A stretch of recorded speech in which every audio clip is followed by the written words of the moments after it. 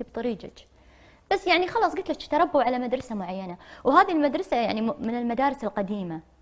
إن أنت تنافسني أنت عدوي.